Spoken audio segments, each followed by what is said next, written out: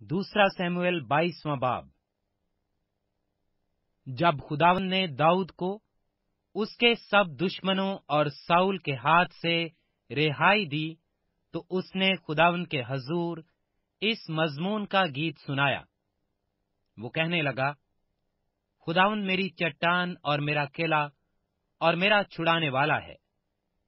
خدا میری چٹان ہے، میں اسی پر بھروسہ رکھوں گا۔ وہی میری سپر اور میری نجات کا سینگ ہے۔ میرا اونچا برج اور میری پناہ ہے۔ میرے نجات دینے والے، تو ہی مجھے ظلم سے بچاتا ہے۔ میں خداون کو جو ستائش کے لائق ہے پکاروں گا۔ یوں میں اپنے دشمنوں سے بچایا جاؤں گا۔ کیونکہ موت کی موجوں نے مجھے گھیرا۔ بے دینی کے سیلابوں نے مجھے ڈرایا۔ پاتال کی رسیاں میرے چوگرد تھیں۔ موت کے پھندے مجھ پر آ پڑے تھے۔ اپنی مصیبت میں میں نے خداون کو پکارا۔ میں اپنے خدا کے حضور چلایا۔ اس نے اپنی ہیکل میں سے میری آواز سنی اور میری فریاد اس کے کان میں پہنچی۔ تب زمین ہل گئی اور کانپ اٹھی۔ اور آسمان کی بنیادوں نے جنبش کھائی اور ہل گئیں، اس لیے کہ وہ غزم ناک ہوا۔ اس کے نتنوں سے دھواں اٹھا اور اس کے منہ سے آگ نکل کر بھسم کرنے لگی۔ کوئلے اس سے دہک اٹھے۔ اس نے آسمانوں کو بھی جھکا دیا اور نیچے اتر آیا اور اس کے پاؤں تلے گہری تاریکی تھی۔ وہ کروبی پر سوار ہو کر اڑا۔ اور ہوا کے بازوؤں پر دکھائی دیا۔ اور اس نے اپنے چوگرد تاریکی کو اور پانی کے اجتماع اور آسمان کے دلدار بادلوں کو شامیانے بنایا۔ اس جھلک سے جو اس کے آگے آگے تھی، آگ کے کوئلے سلگ گئے۔ خداوند آسمان سے گرجا اور حق تالا نے اپنی آواز سنائی۔ اس نے تیر چلا کر ان کو پراگندا کیا اور بجلی سے ان کو شکست دی۔ تب خداوند کی ڈانٹ سے، اس کے نتنوں کے دم کے جھونکے سے سمندر کی تھا دکھائی دینے لگی اور جہان کی بنیادیں نمودار ہوئیں۔ اس نے اوپر سے ہاتھ بڑھا کر مجھے تھام لیا اور مجھے بہت پانی سے کھینچ کر باہر نکالا۔ اس نے میرے زوراور دشمن اور میری عداوت رکھنے والوں سے مجھے چھڑا لیا کیونکہ وہ میرے لیے نہایت زبردست تھے۔ وہ میری مصیبت کے دن مجھ پر آ پڑے، پر خداوند میرا سہارا تھا۔ وہ مجھے کشادہ جگہ میں نکال بھی لایا، اس نے مجھے چھڑایا اس لیے کہ وہ مجھ سے خوش تھا۔ خداوند نے میری راستی کے موافق مجھے جزا دی۔ اور میرے ہاتھوں کی پاکیزگی کے مطابق مجھے بدلا دیا، کیونکہ میں خداوند کی راہوں پر چلتا رہا اور شرارت سے اپنے خدا سے الگ نہ ہوا، کیونکہ اس کے سارے فیصلے میرے سامنے تھے اور میں اس کے آئین سے برگشتہ نہ ہوا۔ میں اس کے حضور کامل بھی رہا اور اپنی بدکاری سے باز رہا۔ اس لیے خداون نے مجھے میری راستی کے موافق، بلکہ میری اس پاکیزگی کے مطابق جو اس کی نظر کے سامنے تھی، بدلا دیا۔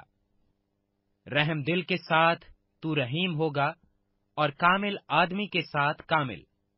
نیکوکار کے ساتھ نیک ہوگا اور کج رو کے ساتھ ٹیڑا مصیبت زدہ لوگوں کو تو بچائے گا، پر تیری آنکھیں مغروروں پر لگی ہیں، تاکہ تو انہیں نیچا کرے۔ کیونکہ اے خداوند، تو میرا چراغ ہے، اور خداوند میرے اندھیرے کو اجالا کر دے گا، کیونکہ تیری بدولت میں فوج پر دھاوا کرتا ہوں، اور اپنے خدا کی بدولت دیوار پھاند جاتا ہوں، لیکن خدا کی راہ کامل ہے، خداوند کا کلام تایا ہوا ہے، وہ ان سب کے سپر ہے، وہ ان سب کی سپر ہے جو اس پر بھروسہ رکھتے ہیں۔ کیونکہ خداوند کے سوا اور کون خدا ہے؟ اور ہمارے خدا کو چھوڑ کر اور کون چٹان ہے؟ خدا میرا مضبوط قلعہ ہے۔ وہ اپنی راہ میں کامل شخص کی رہنمائی کرتا ہے۔ وہ اس کے پاؤں ہرنیوں کے سے بنا دیتا ہے۔ اور مجھے میری اونچی جگہوں میں قائم کرتا ہے۔ وہ میرے ہاتھوں کو جنگ کرنا سکھاتا ہے۔ یہاں تک کہ میرے بازو پیتل کی کمان کو جھکا دیتے ہیں۔ تو نے مجھ کو اپنی نجات کی سپر بھی بخشی اور تیری نرمی نے مجھے بزرگ بنایا ہے۔ تو نے میرے نیچے میرے قدم خوشادہ کر دیے اور میرے پاؤں نہیں پھسلے۔ میں نے اپنے دشمنوں کا پیچھا کر کے ان کو ہلاک کیا اور جب تک وہ فنا نہ ہو گئے، میں واپس نہیں آیا۔ میں نے ان کو فنا کر دیا اور ایسا چھید ڈالا ہے کہ وہ اٹھ نہیں سکتے، بلکہ وہ تو میرے پاؤں کے نیچے گرے پڑے ہیں، کیونکہ تو نے لڑائی کے لیے مجھے قوت سے کمر بستہ کیا اور میرے مخالفوں کو میرے سامنے زیر کیا۔ تو نے میرے دشمنوں کی پشت میری طرف پھیر دی تاکہ میں اپنے عداوت رکھنے والوں کو کاٹ ڈالوں۔ انہوں نے انتظار کیا پر کوئی نہ تھا جو بچائے۔ بلکہ خداون کا بھی انتظار کیا پر اس نے ان کو جواب نہ دیا۔ تب میں نے ان کو کوٹ کوٹ کر زمین کی گرد کی مانند کر دیا۔ میں نے ان کو گلی کوچوں کی کیچڑ کی طرح روند روند کر چاروں طرف پھیلا دیا۔ تو نے مجھے میری قوم کے جھگڑوں سے بھی چھڑایا۔ تو نے مجھے قوموں کا سردار ہونے کے لیے رکھ چھوڑا ہے۔ جس قوم سے میں واقف بھی نہیں، وہ میری متی ہوگی۔ پردیسی میرے تابے ہو جائیں گے۔ وہ میرا نام سنتے ہی میری فرما برداری کریں گے۔ پردیسی مرجھا جائیں گے اور اپنے قلعوں سے تھر تھراتے ہوئے نکلیں گے۔ خداوند زندہ ہے، میری چٹان مبارک ہو اور خدا میری نجات کی چٹان ممتاز ہو۔ وہی خدا جو میرا انتقام لیتا ہے اور امتوں کو میرے تابع کر دیتا ہے اور مجھے میرے دشمنوں کے بیچ سے نکالتا ہے۔